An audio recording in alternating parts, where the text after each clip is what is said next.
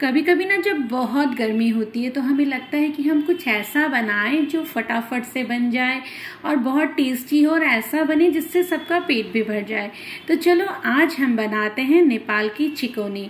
ये बहुत ही टेस्टी होती है, आप इसको बनाकर ज़रूर ट्राई करें। इसे बनाने के लिए एक बाउल में दही ले और उसमें लाल मिर्च पाउडर, भुना हुआ जीरा और नमक डालें।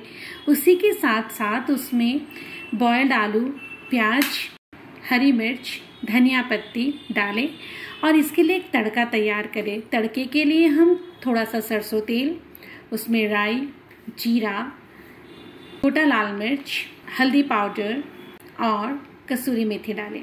अब इस तड़के को इस दही में मिलाकर इसे अच्छी तरह से मिक्स कर लें और इसे राइस के ऊपर सर्व करें। ये बहुत टेस्टी बनती है, आप इसको ट्राई ज़रूर करें। आप इसको पराठे के साथ भी खा सकते हो।